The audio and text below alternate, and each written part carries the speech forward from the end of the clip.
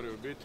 Dakle, na to upozorenje ovoga Ustavnog suda, na tu protuustavnu popa, patvorinu jedne skupine političkih olupina koje su istovarene u nešto što bi trebalo biti Ustavni sud, ja ću se odnositi i pridavat ću joj jednaku pozornost i značaj kao što je AP pridao zakonito pribavljenim nalazima sigurnosno obavještene agencije u slučaju druženja Turudić-Mamić.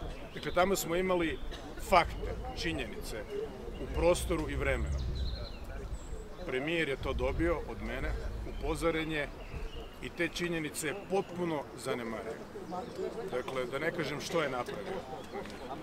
Ovdje imamo jednu protuustavnu patvorinu, jedne grupe političkih olupina, dakle ljudi kad bi imali većinu. Pa da recimo to ne bih radio ja, kada sam imao apsolutnu većinu u Hrvatskom saboru, onda sam prije nego što sam je na izborima dobio, tražio da se to stavi u Hrvatski ustav, HDZ za to digao ruku i molim vas da te stvari ne miješate, to nema veze jedno s drugim. Dakle, možemo ovu bukvu, bukva izabrati dvotrećinskom većinom i njezinu sestru i brata.